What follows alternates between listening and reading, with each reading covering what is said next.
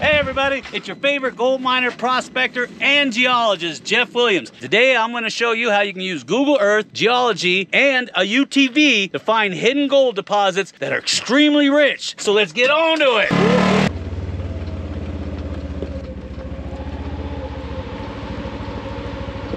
Look at that, they're wild. They probably saw the camera and the, the GoPro stick and said, is that a rifle? Hope not, let's get the heck out of here.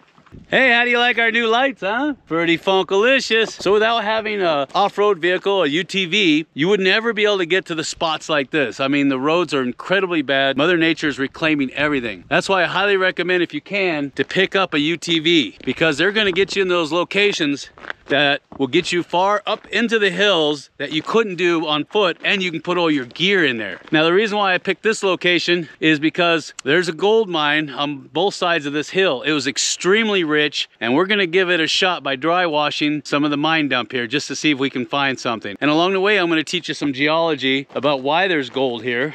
And the interesting thing about the gold that's here is that it's from secondary enrichment zones. The enrichment zones are basically limonite that have formed in between the contact zones of the porphyry granite and the limestone, the dolomite. Now years ago, BLM came out here and they brought in two, I don't know how they got them up here on the mountain, but they brought in two bulldozers and they took all the material from on top of the hill. I watched them do it and they brought it all the way down to here because they wanted to seal this up. It doesn't make much sense to me because the, what they're trying to seal up was a sill where they were finding rich gold. So it wasn't a safety concern. It was more like a, we're gonna keep this on hold till later kind of concern.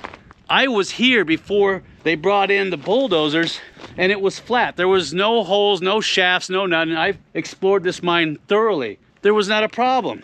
So why would they do that? So I'm thinking they wanted to keep this place on hold for themselves. It's the only thing I can think of. But the gold that was coming out of here is very pure because of the secondary enrichment, which means the gold was in this porphyry granite, this decomposing granite that you see here, and then up against the limestone sections, like you see here, you would have a process called metasomatism taking place, where the gold would literally migrate from the granite porphyry and form in the contact zones right here. See that? All that has gold in it. And the USGS reports always say that wherever you see this green talc, the gold is very rich. And they find the green talc where the veins flatten out, not where they're vertical or steeply dipping, but where they level out. So we're gonna give this a shot today, see if we can find any gold in it and then I'll keep you posted and I'll teach you some more geology along the way. Now that is one of the old stopes. I know it's hard to believe, but if you go in there, it opens up. They were pulling all the limonite off the back of this decomposing granite or porphyry granite. Now I know it doesn't look like much, but that is the end of a stope. I've been in there before and it opens up and the old timers were in there on their bellies cutting out the limonite seams that are up against the limestone. And of course they had to carve out all of this granite porphyry. It's like saprolite, it's decomposing, you can dig it with your finger. The interesting thing about this granite porphyry is that there's actually tiny bits of gold in it. So a lot of the mine dumps in this area have a little bit of gold in it. Now, you're not gonna get rich. In fact, you'd probably have to move a few metric tons to get anything worthwhile. It gives you a slight understanding of how these seams of limonite were formed. Inside the mine that I'm standing on down below, these seams are up to five feet thick. And because you have secondary enrichment from polymetallic replacement deposits, this stuff is extremely rich and it's in wire form too. No quartz, just limonite. And sometimes you'll have manganese oxide coating the outside, kind of like peg legs gold if you remember that. We're gonna take all that juicy red material and we're gonna run it through a dry washer. And then I'm gonna take my little battery powered hammer drill and I'm gonna chip out what limonite is in there, collect the dust, run it through the dry washer, and then the bigger chunks we'll take back and grind it up. And I'll show you exactly what I'm talking about. But I'm not gonna do nothing until you smash that like button. Smash it hard!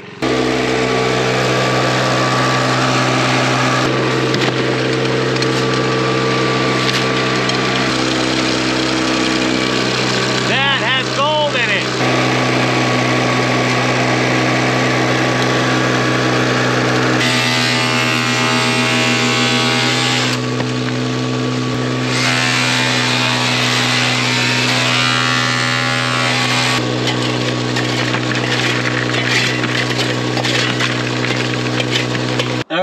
Let you get a good look at this.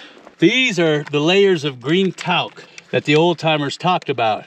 And they said wherever the vein flattens out below 45 degrees in dip, you're gonna see these green talc beds starting to form. And they said wherever you see that, any limonite that is sitting on top of that, very rich. So that's why I'm all excited about this one particular zone here. Yeah, that looks good and that looks good, but the green talc is what I'm interested in. I'm gonna continue blowing this out and then later I'm gonna give you another geological lesson that's gonna help you locate these things and I'll tell you how I found this one myself. that way you can get out there, find your own gold mine. Now, here's your next geological lesson. I'm sitting on a bed of dolomite, and there was a sill of porphyry granite. The sill was extremely rich, and of course, they removed the sill. And inside the mountain, there are two dikes, and they removed a lot of the material. I've actually been in there, and there's huge stopes in there, and it goes down to about maybe the three, 400 foot level. The reason why I got you here is because I found this area, first of all, by looking on USGS reports. That's number one. And when I saw that the beds of limonite were carrying gold from secondary enrichment, I was on top of it real quick. And when I saw that there was a sill involved, not just two dikes, I says, you know what? The sill has still have to have gold on it because sills sit flat, dikes sit straight up and down, or to some degree. I'm telling you this is because if you see that in the USGS reports, you need to get on it and you need to get boots on the ground and you need to prospect and sample. And that's what we're doing. Now, the reason I got you over here on top of this dolomite is because I can see all this beautiful red limonite. And of course, all the host rock, and there's a little copper mixed in there too. Look what Mother Nature has done for me. You see it? She's basically washed a lot of this old overburden off and what? Left all the good juicy stuff inside because I've got bedrock here. So I'm gonna dig out some of the limonite. I'm gonna dig out whatever's in this creek because I know there's little pieces of gold in here. I'm gonna put that in a bucket and then I'm gonna run that through a dry washer too. And that's what you should be doing too. Let Mother Nature do all the work. I always tell you about bedrock, but when you're out here around special areas like this, look for where Mother Nature's already did a lot of the washing for you. And what you're gonna do, just like in a sluice box, start at the top. Dig a lot of this material out. If you really wanna know where the gold's at, break it into sections and sample it individually. Unfortunately, I've got rain clouds over my head. I don't have much time, so I'm just gonna take the whole thing and I'm gonna run it through the dry washer. We'll take it back, we'll crush the harder stuff, and then I'll pan out the stuff we got out of the dry washer, and then I'll show you what... You'll need to be online. What was that? so then I'm gonna show you what the gold looks like because there's tons of gold here. It's really beautiful because it's in wire forms and a little dendritic too. And then I'm gonna tell you some secrets about gold, how it can actually precipitate out of this material under the right conditions. So let's get on to it. Almost looks like cinnabar, don't it? Look at that. That's part of the old sill I was telling you about. You see it? It looks like cinnabar, but it's not.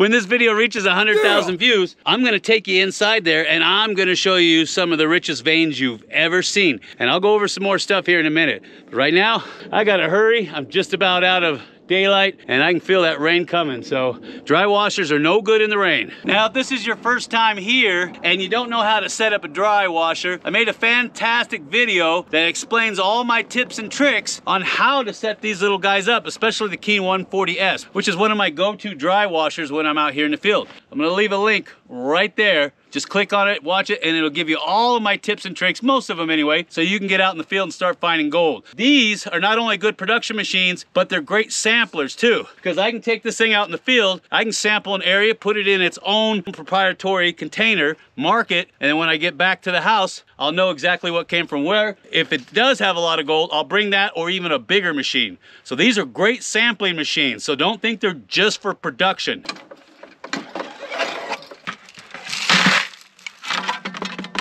So we got all of our concentrates from the dry washer in this little guy right here. I'm gonna go ahead and screen it out down to a minus 20, minus 30, and minus 40. Pan them out separately. Anything above that, we're gonna run through the mill, crush that down. And I think you're gonna find this interesting. Are you helping me on this today, Mr. Siamese? I've also got a grab sample that I picked up while I was out there. This is all stuff that will fit into the impact mill, and we'll crush that up too to see if there's anything that's locked up in these big old honking chunks of limonite. So we're gonna go ahead and put some jet dry in the water, and that's gonna break the surface tension on this water so the really super fine gold doesn't float on top. We're gonna start by cleaning out our pan. That way we don't cross-contaminate. Very important that you guys don't cross-contaminate. All right, we're gonna start with our 40s first. See what's in that. See how that limonite turns it blood red? All the iron oxides. And I got some manganese oxide in there too. Now I gotta go really slow with this because it's ultra fine. All right, let's see what we got. Give a little bit of a shake. And already I'm seeing some beautiful looking gold. You see it right there? And that is why classification is so important. See that? Now I'm gonna get a snapshot so you can get a closer shot of that. This is probably from that piece where we dug out of the wash because it looks like it's been pounded a little bit. We're gonna get our 30s, put that in there and see what we got. Oh yeah, look, look, look, look. All right, let's see if we can push those together and get a snapshot of that. All right, now we're gonna go ahead and do the 20s. Clean out your pan, make sure it's not cross-contaminated. 20s, that's a little bit too much water. Okay, here we go. I've got these two pieces. I don't see any gold, but I got these two pieces, so I'm gonna look at them real close. So we're gonna go ahead and we're gonna run everything through the mill, and I'm gonna show you what that looks like. All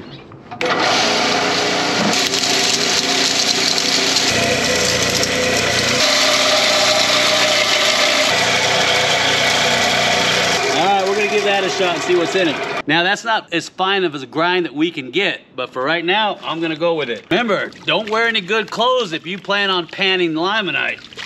I got a piece of gold there. I got a piece of gold there. I got a million little fines. I got another piece of gold there. Really big chunk there. Whole bunch of little fines all through there. Not bad.